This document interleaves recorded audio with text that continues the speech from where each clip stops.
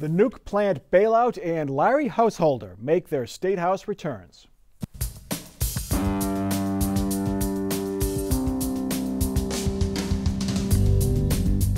Joining us on Columbus on the record this week, Herb Asher, OSU political scientist, Jesse Balmert, State House reporter for the Cincinnati Enquirer, and Clarence Mingo, former Franklin County auditor. The bitter political fight we thought was over is back. Lawmakers are once again debating whether two nuclear power plants in northern Ohio should receive a government mandated billion dollar bailout. It's back because federal prosecutors say the bailout, also known as House Bill 6, is at the center of a $61 million bribery scandal. Many lawmakers want to repeal the tainted law and replace it with something else. House Speaker Bob Cupp has named a committee to come up with a plan to do just that. Other lawmakers and advocates want to repeal the whole thing immediately. Jesse Balmert, just exactly how excited are lawmakers to have to deal with this again? well, it depends. If you didn't like House Bill 6 to begin with, you are certainly happy to potentially get rid of it this time around.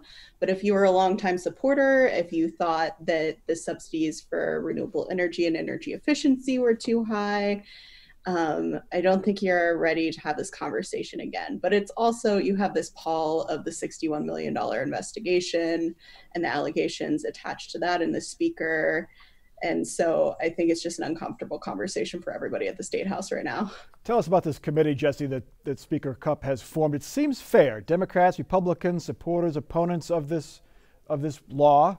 Uh, is that what the feeling uh, on the floor of the House, that they think it's a fair committee at least? So the breakdown is interesting. There's about five people who supported House Bill 6. There are about eight people who opposed House Bill 6, and then two lawmakers who weren't even here when House Bill 6 was going through the first time, which might be smart. You're getting a fresh look on the thing. I thought it was interesting. I think a new committee could be potentially helpful. You're getting a fresh set of eyes on the issue. Uh, you compare that to the Senate, which is going through the same committee that House Bill 6 went through over there, the effort to repeal. And so you see some of the same lines that you saw when the bill passed the first time last year. Clarence Mingo, committees can be good. They can get things done. You can be productive. They can bring out perspectives you may not have thought of. Committees, as longtime government watchers also know, can be a place where things die, way to stall, way to avoid things. Clarence Mingo, what do you think it is here? Yeah, I think, um, you know, Speaker Cupp is really the linchpin here. Uh, he has the, the opportunity to, to demonstrate to the public um, and also the Republican caucus that uh, a new era, uh, free of scandal, has begun in the Ohio General Assembly. And so, if he is committed to retaining and then building public confidence in our legislative system, he will ensure that this committee does bipartisan work um, and produces outcomes that will ensure the public can believe in the processes we have in place to ensure the public welfare. So, um, Speaker Cupp is the linchpin, and uh, he was voted as the Speaker because he is a man of integrity and has lived so as a public servant. So we'll be watching closely to see if he you know, continues to be who he has been in other uh, public offices. Um, but I think the, the momentum in, in, in, history by way of his own conduct, I think gives us good indication um, that things will progress and this committee will do bipartisan work and down the road restore uh, public confidence uh, in our uh, legislative processes and the General Assembly as a whole. Now, Speaker no. Cupp has not in any way been linked to the scandal.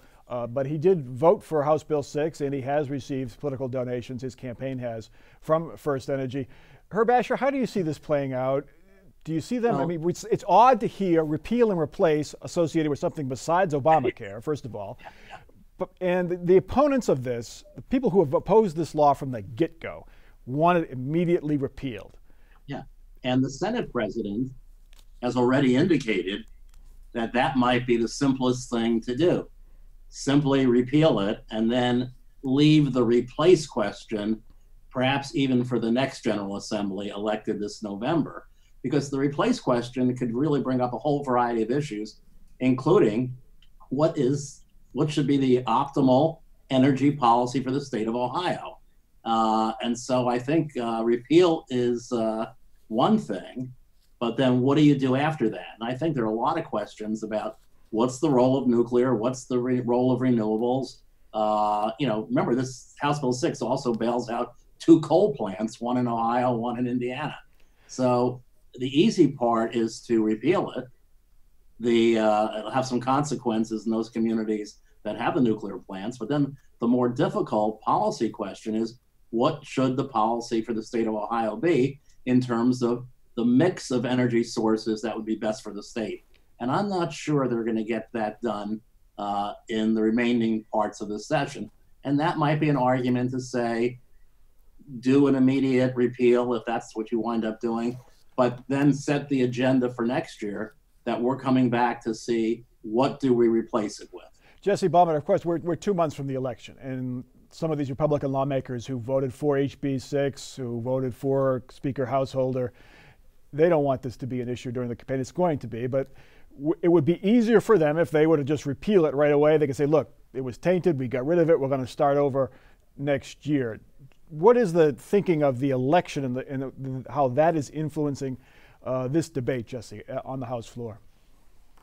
It's interesting because there's an outside group that's running some ads saying that they need to repeal immediately, and it has various backers um, ranging from energy groups to uh, conservative organizations. So that's been interesting. But the Democrats themselves are focusing on bribery, not on this piece of legislation. They're not focusing on energy policy. They're not really focusing on the election of uh, Speaker Householder, and that could be in part because some Democrats did support House Bill 6 and some Democrats supported Speaker Householder's election. So I, I, this doesn't break down on traditional partisan lines.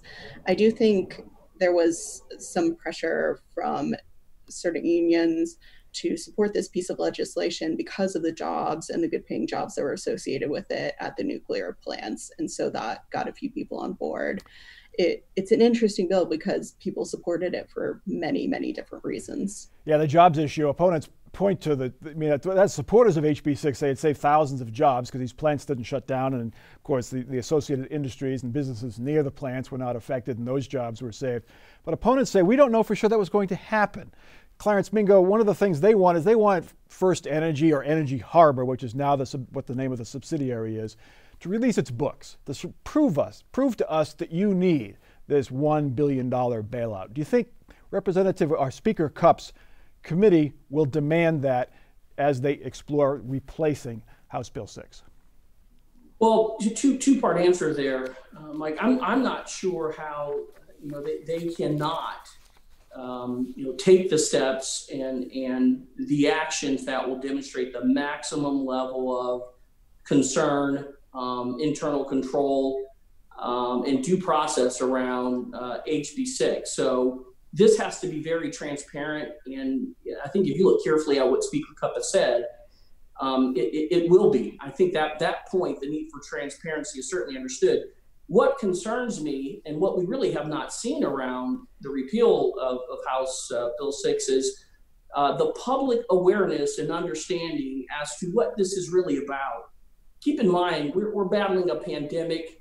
The nation is on fire with respect to race relations. This is undoubtedly the most critical presidential election uh, in modern American history. And I don't believe that Ohioans uh, have fully perceived and understood what House Bill 6 uh, is about, what the consequence of it is. And because of that, there has not been uh, the type of public outcry and outrage that I would have expected to see about this type of scandal uh, in Ohio government. So I, my hope is that um, greater awareness and knowledge as we get closer to election day will abound with respect to the public understanding what House Bill 6 is about, why the repeal matters, and what the future should be for Ohio utilities. Well, Larry Householder went a long way this week towards reminding Ohioans about this scandal because, not wanting to miss the chance to participate in the legislative process, indicted state rep and former Speaker Larry Householder was back on the House floor this week.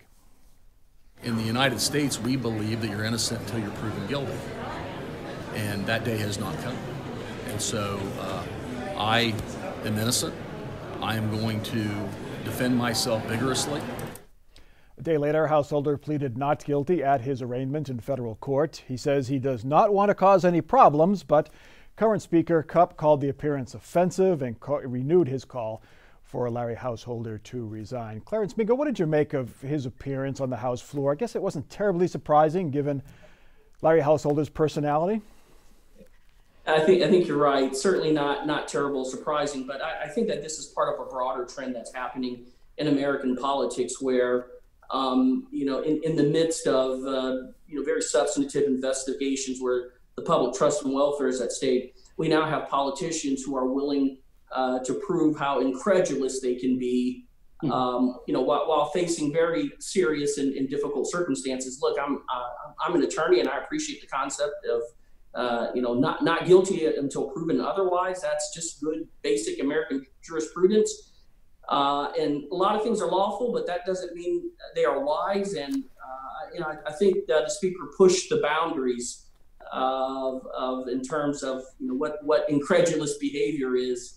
Um, I think if Republicans could do a rewind um, and insist uh, that he not appear uh, on state house grounds or, or anywhere near the General Assembly, I'm, I'm sure they would.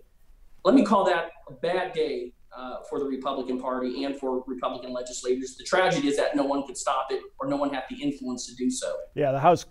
The, there was an effort to remove him from the House, but according to House rules, they cannot. They can only expel a representative once for one reason. They didn't want to do that because Householder is up for re-election uh, in a couple of months. He will take his seat, assuming he wins. He's a heavy favorite. Assuming he wins, he'll, he'll be back in January, and they could not expel him then. Herb Asher, he also said that talking about the House Bill 6 uh, investigation, quote, things got a little wild with House Bill 6, uh, but that's politics sometimes. Downplaying a $61 million bribery investigation, to say the least. Uh, he reminded me last week of the President of the United States, who has no sense of shame or embarrassment. And certainly Larry Householder showing up at the legislature that is an, that's incredibly arrogant. Shows no concern about your colleagues, uh, and not just your Republican colleagues, but your Democratic colleagues, and no concern about the institution. I think Speaker Cupp got it exactly right. And now you have to face the issue what happens when he, in fact, gets reelected? And uh, there he is back in January. Uh, will the House, which can, is the judge of its own members, you know, will they in fact seat him or not seat him? And uh, I'm not sure you can count upon Larry to be a quiet, passive backbencher. So they're going to have to face this issue. Uh, and of course, if he's found, you know, and well, the court proceedings are take a long time. If he's found guilty, that takes care of it. But that's going to be, you know, a long time. And if he's found innocent, it's it's going to be, you know, that'll take care of it. So they now have a problem and that problem will be a constant reminder. But I think, as someone said just before, boy, they wish he would at least disappear for the next 60 days. You know, the GOP, and actually the whole legislature doesn't need him to remind people that there was a major scandal here in Ohio. I think Democrats will be reminding people. But Jesse yeah. Balmert, I'm curious. I would imagine there was quite a bit of social distancing around Larry Householder this week when it comes to other representatives, other members of the House, particularly GOP members? You know, it really depends on who you are. I think you you heard the comments from Speaker Cupp, so he's certainly going to distance him. I mean, you got to feel for the guy. It's his first full session, and he has to deal with his predecessor sitting there holding court with the Ohio Press Corps. So, so there's that. Yeah. Um, but there are other members who are still supportive of Larry Householder. There are other members who are still close with him and they'll tell you innocent until proven guilty. And to everyone's point, certainly that is true. Uh, but there's also what is helpful. There's a lot of Republicans who are in tight seats who don't need the figure of a federal investigation sitting right next to them. Jesse, there, is there any indication, say Larry Householder wins reelection, is sworn in again as a rep next January, is there an indication that an expulsion vote would come then? Have, have lawmakers talked about that? I don't think we have a good sense of that, but I don't know how much different it would be from what happened this last time around. I think a lot of people think that if he isn't convicted, if he isn't found guilty, that he should be able to continue to serve. And that federal investigation could take quite a while. His attorneys, he's got new attorneys this week, and they told uh, Cleveland.com that they are not interested in a plea bargain. They want to go to trial. Of course, attorneys always say that when they come on a case, so we'll, we'll see what that turns out. After leveling off for a couple of weeks, uh, new Ohio COVID cases have jumped up again. Officials blame the increase on the return of college students to campuses around the state. Here in Columbus, Ohio State University reports more than a thousand students have tested positive. Ohio saw a sharp increases in cases after the 4th of July holiday, and Governor DeWine pleads with Ohioans to be careful over the Labor Day holiday.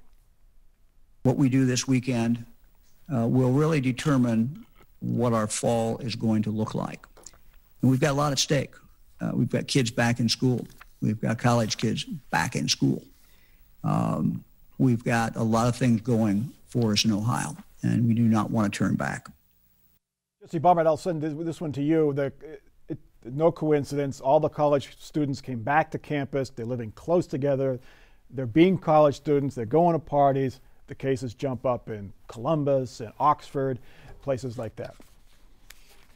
True. I mean, I think universities are trying very hard to implement policies to keep students separated and require masks and have various pledges and promises and so forth.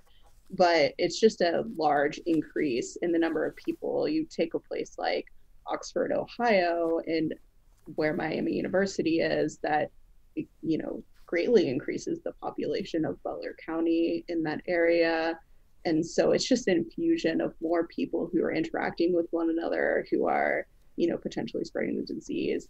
I think um, one good sign is there haven't been a lot of hospitalizations or icu cases in that younger population but certainly that's an opportunity for people to spread the disease to other individuals.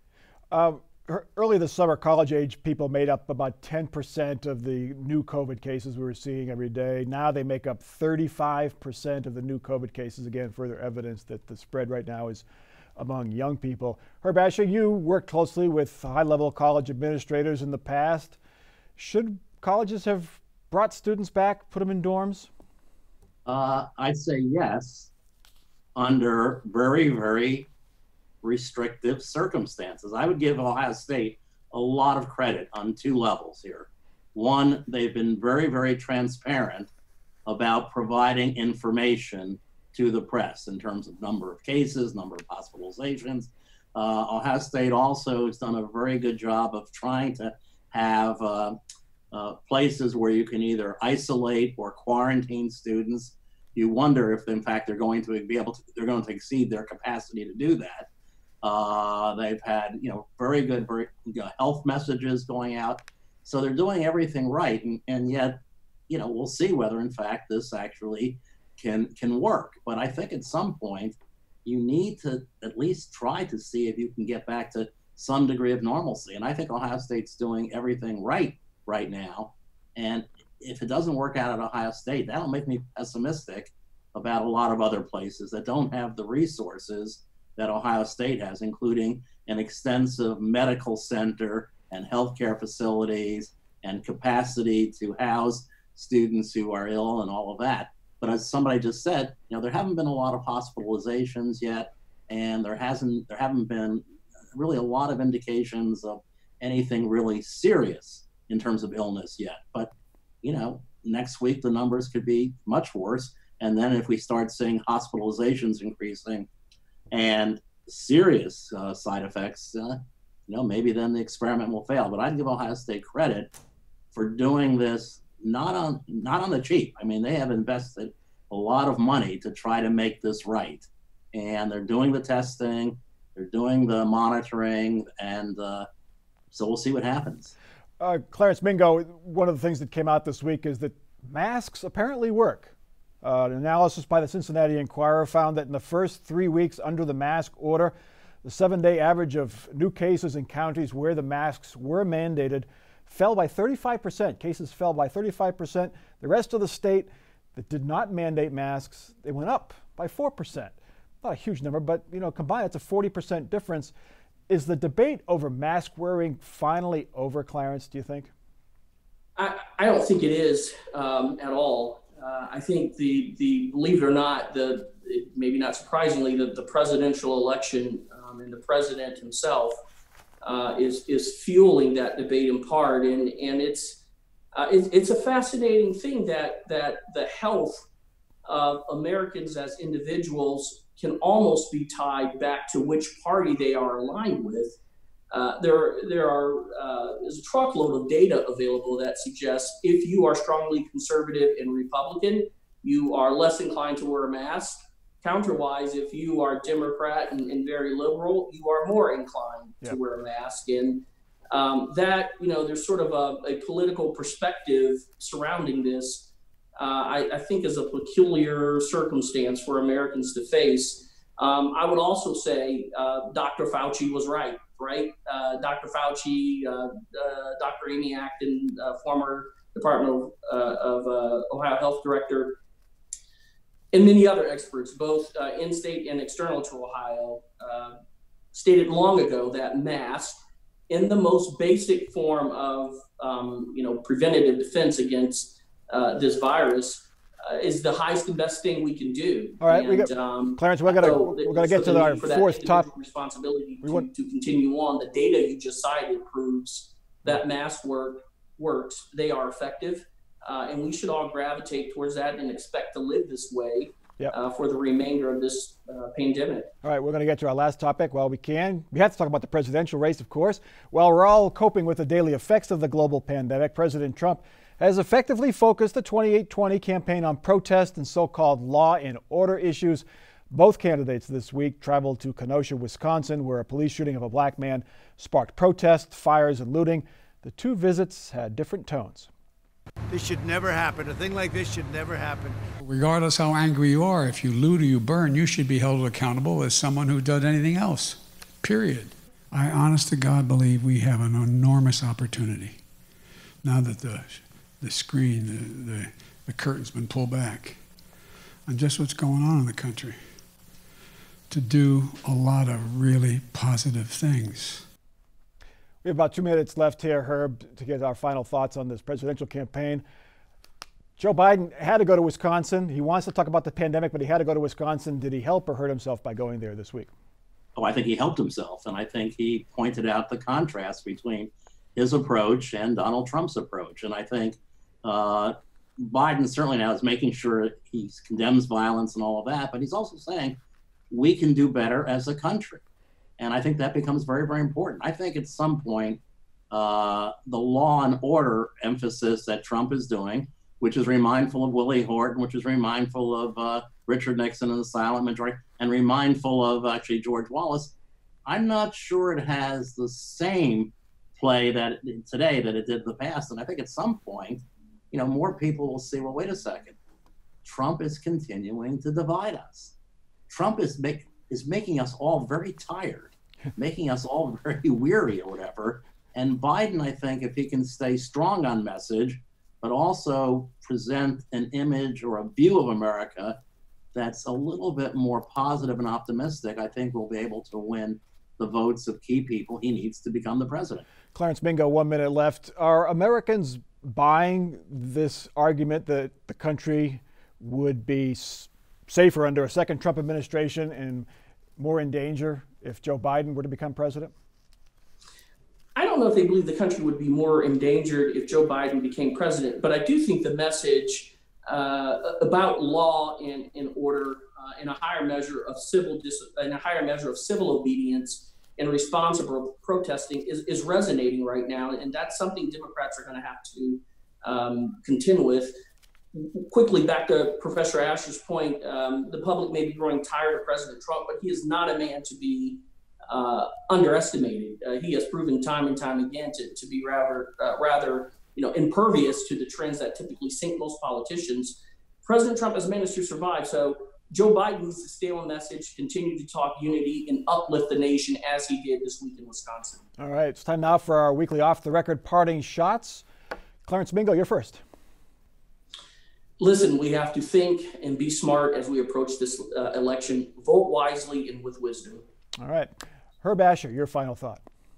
Uh, unlike what the president suggested in North Carolina, uh, only vote once.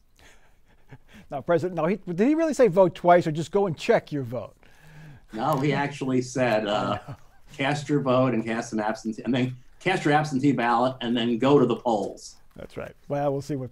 We'll, yes, vote once. We can, we can all agree on that. We'll just we'll just vote once. Jesse A very, Balmert. a ver- a very brave thing to say. Jesse Balmert. Yes. Going off Herb's comment, my colleague Dan Horn took a look at how many people tried to vote more than once, and there were about 2,000 over the past three presidential elections, which was less than 0.01% of all voters. So uh, just don't do it. You also wonder how many of those folks just plain forgot that they already voted, or it was intentional. I mean, who who knows why people voted twice? Some were probably up to no good, but anyway. Uh, my prediction is that the next battle in COVID 19, and it will be a battle, trust me, even though it is a holiday that really is suitable to mask wearing. The next battle will be over Halloween and trick or treating. Usually, I complain that suburbs don't trick or treat on Halloween. They have beggars' nights for whatever reason, which is socialism run amok. Towns and cities are going to have to decide if they're going to have trick or treating. Will parents allow their kids to trick or treat? Will people give out candy to trick or treaters? Watch for that as the next big controversy. That is Columbus on the Record for this week. Check us out online. Continue the conversation on Twitter and on Facebook and watch every episode at WOSU.org. For our panel and for our crew, I'm Mike Thompson. Have a good week.